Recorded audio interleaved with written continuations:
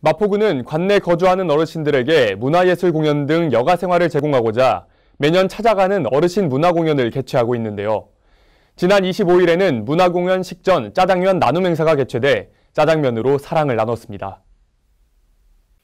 지난 25일 성산 종합사회복지관에서 사랑의 짜장면 나눔 행사가 개최됐습니다. 이번 행사는 강동 무료중식 봉사회의 주관으로 진행됐는데요. 마포구 관내 어르신 1,500여 명을 초청해 짜장면을 제공했습니다.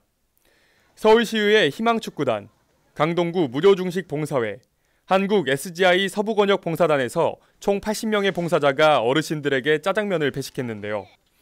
마포구에서는 행사 장소를 제공하고 천막과 식탁, 의자 등 기자재를 지원했습니다.